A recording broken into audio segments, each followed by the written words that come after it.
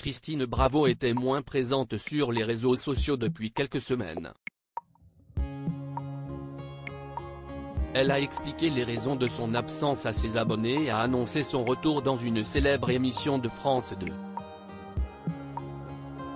En mars dernier, Christine Bravo annonçait une bien triste nouvelle à ses fidèles sur son compte Instagram, la disparition de sa mère Carmen. Aujourd'hui Carmen a rejoint Antonio. Maman, repose en paix auprès de papa. Cet avis tient lieu de faire part, avait-elle simplement indiqué en commentaire d'une photo en noir et blanc de ses deux parents. Elle avait immédiatement reçu de nombreux messages de soutien de ses abonnés, qui avaient compati à son deuil. Depuis ce message, l'animatrice, qui a fait son retour sur Chérie 25 avec de nouveaux numéros des sous les jupons de l'histoire, était restée plutôt discrète sur le réseau social, ne partageant plus ses légendaires coups de gueule. Christine Bravo de retour pour un prime des enfants de la télé ce mercredi 3 mars, elle s'est emparée de son compte Instagram pour donner quelques nouvelles à ses abonnés et leur expliquer son absence prolongée. Pardon pour mon long silence, j'ai décroché d'Instagram après la perte de ma mère, j'ai passé beaucoup de temps en Corse, la sérénité de cette île, la gentillesse des gens, la beauté du printemps en balanier m'ont réparé, a-t-elle indiqué. Elle en a profité pour dévoiler son actualité en ce début de mois de mai.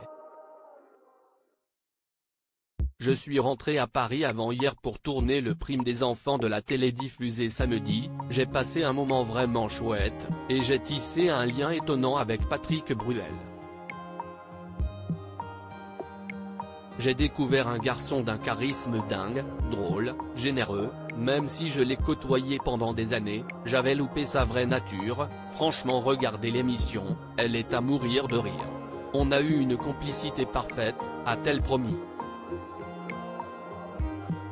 Avant de conclure avec une pensée pour son complice de toujours, évidemment, avec Laurent Ruquier, ça a été un feu d'artifice, comme d'hab en encore mieux.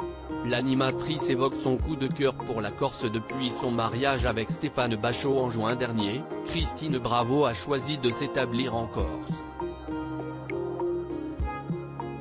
Au retour de son voyage de noces, elle avait d'ailleurs déclaré sa flamme à l'île de beauté. De retour de lune de miel, toujours amoureuse, je retombe amoureuse chaque jour.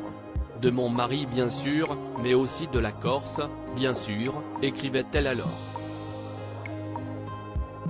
Cloche du bétail, rivière pour toute musique.